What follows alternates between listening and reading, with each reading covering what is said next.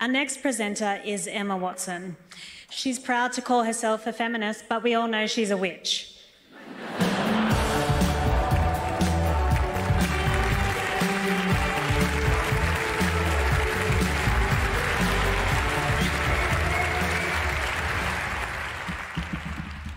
I'm here for all of the witches.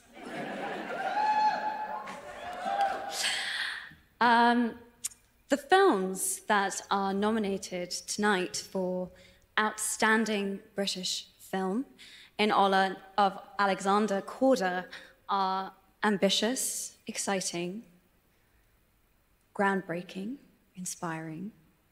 Our industry is blessed with so many diverse voices exploring ideas of sexuality, race, religion, and identity, different ways of being. Our creative talents are brave enough to explore the past because they're eager to face the future.